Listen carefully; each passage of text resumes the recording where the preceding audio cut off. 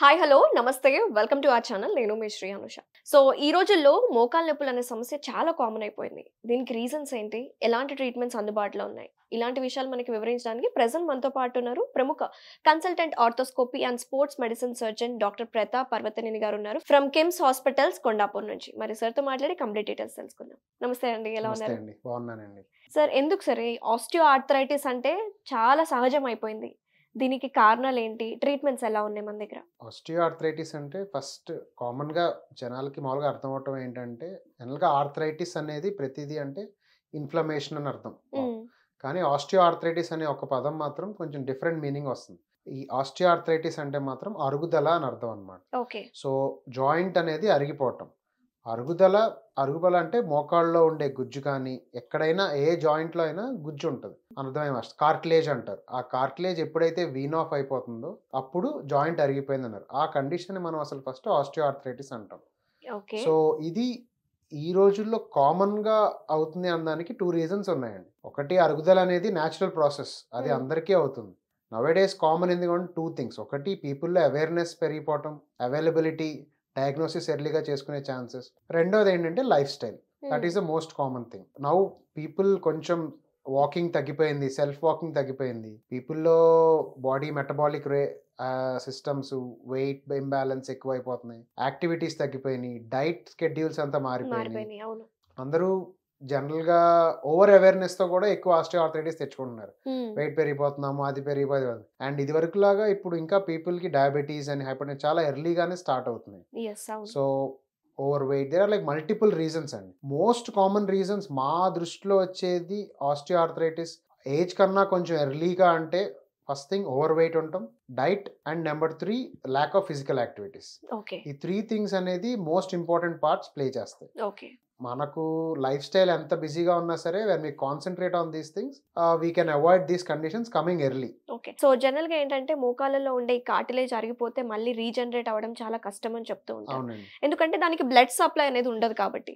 But మరి కొంతమంది అంటూ ఉంటారు రీజనరేషన్ చేసుకోవచ్చు కొన్ని ఇంజెక్షన్స్ ద్వారా మెడిసిన్స్ ఉంటాయి అంటారు. హౌ ఇట్ ఇస్ పాసిబుల్ అండి? ఇదన్నీ అండి ఇవన్నీ మిత్స్ అండి. First of all to be very frank there is no regeneration of cartilage. ఇప్పుడు వరకు ప్రూవెన్ ఎవిడెన్స్ అయితే లేదు. అంటే ఒక టూ ఇయర్స్ బ్యాక్ ఎక్స్రే తీసి కార్టిలేజ్ లేదు. మళ్ళీ టూ ఇయర్స్ తర్వాత తీసేస్తే మొత్తం అరిగిపోయిందని కార్టిలేజ్ వచ్చింది. బట్ దీంట్లో ఇంకొక సినారియో ఉంది. కార్టిలేజ్ డిఫెక్ట్స్ అనేది ఫామ్ అవుతాయి. This is something advanced.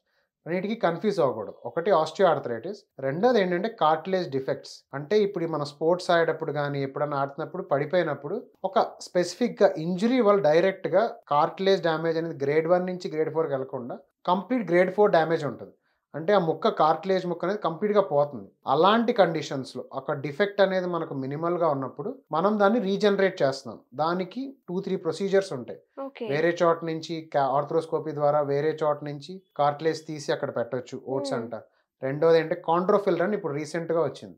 That is the most advance easiest way అది మనకు ఆర్టిఫిషియల్ అని మనం ఇంజెక్ట్ చేస్తే విత్ ఇన్ సిక్స్ వీక్స్ ఆ డిఫెక్ట్ ఏరియాలో న్యాచురల్ కార్టిలేజ్ అనేది ఫామ్ అవుతుంది. So these are approved procedures అన్నమాట. బట్ ఈ మిగతా ఇంజెక్షన్లు ఇప్పుడు ఏదైతే మనం కామన్గా వింటున్నామో ఈ పిఆర్ ప్లాస్మా థెరపీలని అవును. హైల్రో ఇవన్నీ వాటికి ఏటికి ఎవిడెన్స్ అయితే లేదండి. ఇది చేస్తే కంపల్సరీగానే మనకు కార్టిలేజ్ అనేది మళ్ళీ వస్తుంది.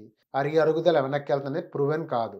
నేనైతే as a doctor hundred percent will not believe but వాటితో ఉన్న అడ్వాంటేజ్ ఏంటంటే జనాలకి కానీ పీపుల్ పేషెంట్స్కి they will not have any side effects with this other it will work or it will not work అది అందరికి. వర్క్ అవుతుందని చెప్పలేము. అసలు అసలు పలానా పేషెంట్లో వర్క్ అవుతుందని మనం గ్యారంటీ ఇవ్వలేం. అండ్ ఫస్ట్ ఆఫ్ ఆల్ ఈ ఇంజెక్షన్స్ అన్ని ఏదైనా స్టార్టింగ్ స్టేజ్లో ఉంటే కొంచెం వాటి ఎఫెక్ట్ ఉంటాయి. మెయిన్గా Hmm. ఇవి ఏంటంటే మెత్తబడిపోయిన కార్టిలేజ్ని ఎక్కువ వేన్ ఆఫ్ అయిపోకుండా కొంచెం స్లోగా స్లోగా ఇట్ విల్ స్టార్ట్ డీజనరేషన్. దానివల్ల దీని యూజ్ ఉంటుంది కానీ already which is completely gone అనే దాంట్లో మనం గనక ఇంజెక్షన్ చేస్తే it's pure money waste time waste and like we are doing miss treatment మరి చాలా మంది బయట మార్కెట్లో పెయిన్ మేనేజ్మెంట్ సెంటర్స్ అని కార్టిలేజ్ రీజనరేషన్ పిఆర్పి చేస్తున్నాము.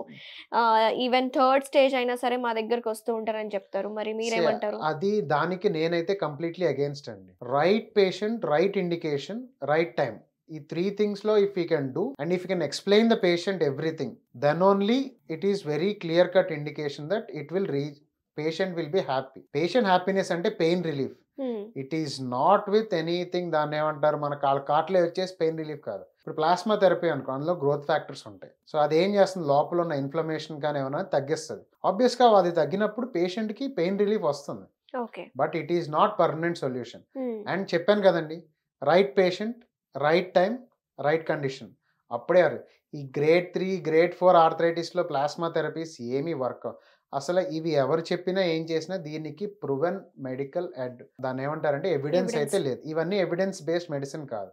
And nowadays present generation everybody practises evidence based medicine. So I personally don't prefer for people who have like grade 4 arthritis grade 3 arthritis who have severe deformity leads bone on bone arthritis వాళ్ళకి injections అనేవి అసలు definitely not useful but for conditions of grade one grade two two తర్వాత కొంచెం starting స్టేజ్లో ఉన్న వాళ్ళకి అప్పుడే start అవుతున్నారు వాళ్ళకి I can do a plasma therapy we can అది కూడా డిఫరెంట్ సిట్టింగ్స్లో చేయాలండి.